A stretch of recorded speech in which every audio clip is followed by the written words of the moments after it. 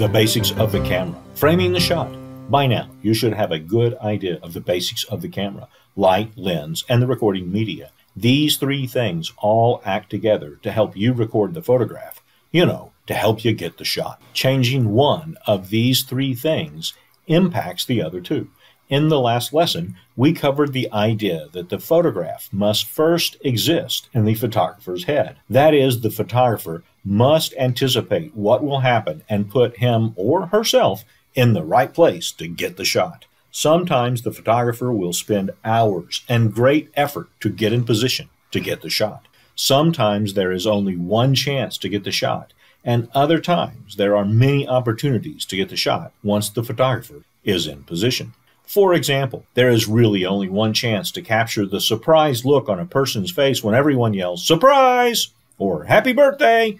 while other times there are multiple opportunities to capture a photo of a baby. There is only one opportunity to capture the silhouette of the International Space Station against the full moon, and there are multiple opportunities to capture the dew on a flower. Each of these shots, though, must be set up planned and taken with the right settings on the piece of equipment. Many people wrongly believe that a photographer just takes hundreds of photographs and gets lucky and shows only the one that's the perfect shot. True, it does happen that a person, an amateur, does get lucky and gets a great photograph. The experienced photographer, though, has this so called luck much more often because the experienced photographer plans the shots, puts himself in position, and captures the moment. You see, luck favors effort. So, what are the things that you can do to increase the odds that you will get the shot? First, anticipate the photograph that you want. Visualize it in your head. Scout the area where you will be taking the photograph. Look for the shot. See where you will need to be to get the shot. Inspect your equipment to make sure that it is in good working order. Arrive early. Anticipate the lighting that will be available and what you need to do to enhance your photograph. Do you need an assistant?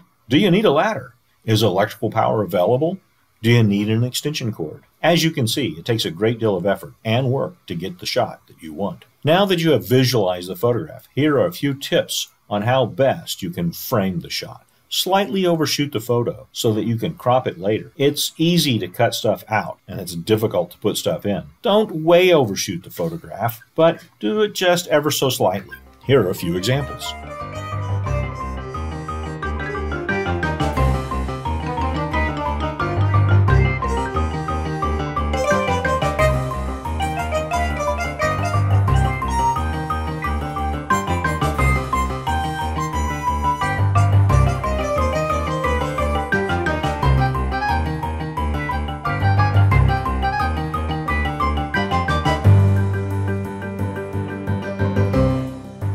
The shot. That is, make the horizontal background parallel with the edge of the photograph. True, you can always rotate the shot in the editing process, but you lose even more of the photo when you do this. And with digital photography, the pixels are rotated a bit, and this can cause two slightly different colored pixels to blend or average. This causes the image to blur, just a little bit, but quality is lost. If you want to know more about this effect, look up moire patterns. They're kind of neat.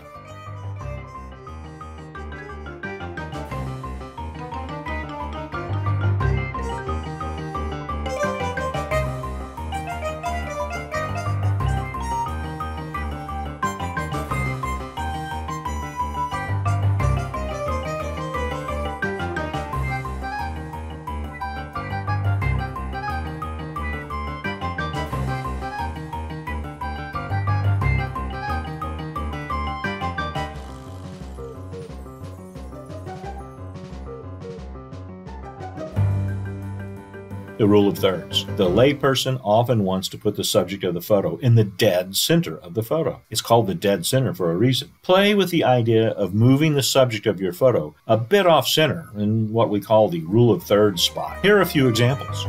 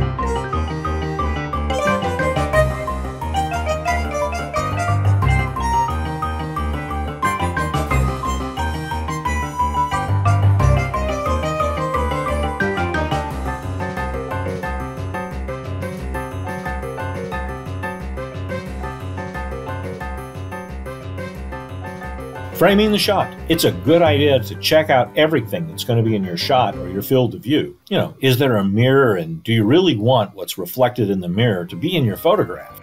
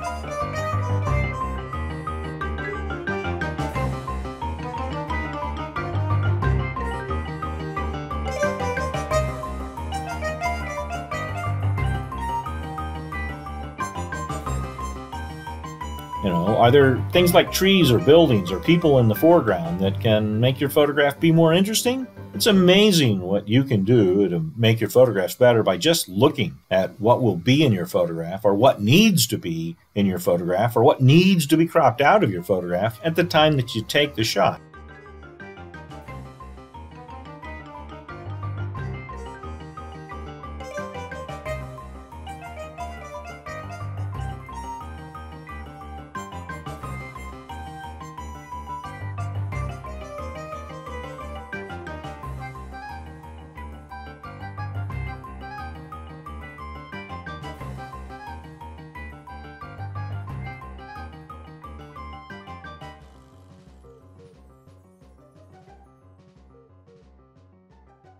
The human eye, like the human ear, is really good at ignoring peripheral things. The camera and the microphone are not. You can think of it like this you're chatting on the phone with somebody, and there's a lot of background noise behind that person, and they're sort of just ignoring it. However, you have to listen to both because the microphone it doesn't discriminate. It picks up the background noise and the conversation equally as well, and you have to listen to it. Perhaps you have noticed the same thing with a recording that you've made. When you're making the recording, you were listening to the person speaking and you paid no attention to the background noise. But later, when you tried to listen to the recording, you had trouble hearing the person speaking because of all of the background noise. It's that way with a camera, too. It's easy for your eye to focus on the subject without seeing what is in the background or the foreground. But when you look at the photo, you ask yourself, what is that? Or why didn't I see that? Others looking at the photo will think the same thing and they'll just excuse you as an amateur photographer. A good photographer looks at more than just the subject.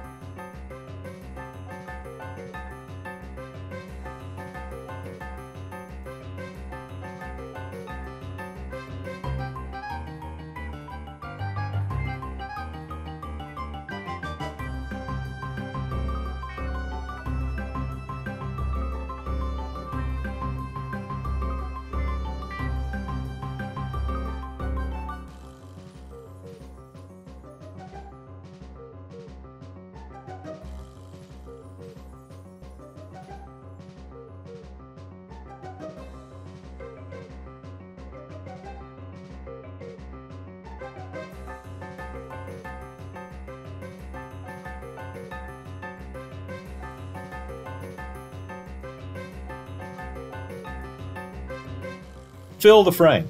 Know that it's okay to crop out some of the things in the photo. It's not necessary for your audience to see all of the tree or all of the building. Fill your photos with the things that you want to be in the photo. But don't forget to slightly overshoot the size of the photo so that you can do a better job of cropping later in what we call the post production, you know, the editing phase of photography.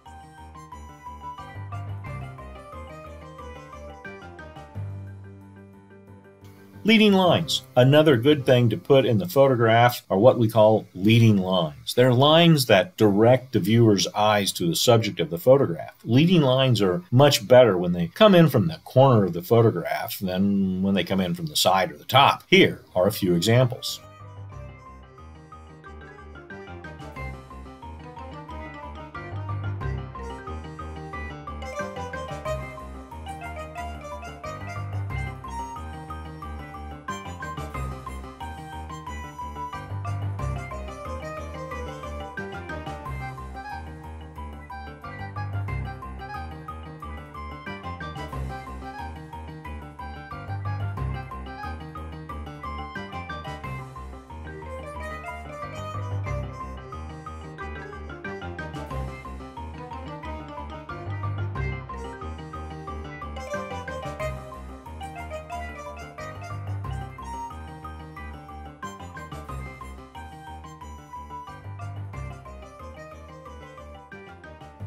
Anything but eye level.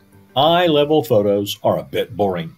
Photographing people from below eye level is often a less than complimentary photograph, and shooting people just above eye level is often more times flattering. Photographers often make use of this technique when photographing politicians. If the photographer likes the politician, the photo is taken above eye level, and if the photographer does not like the politician, the photo is taken below eye level.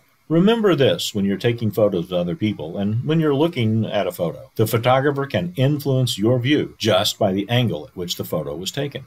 Look for the details. Capture the details in the photo. That is, take photos of things that people don't normally see. These make for much more interesting photos.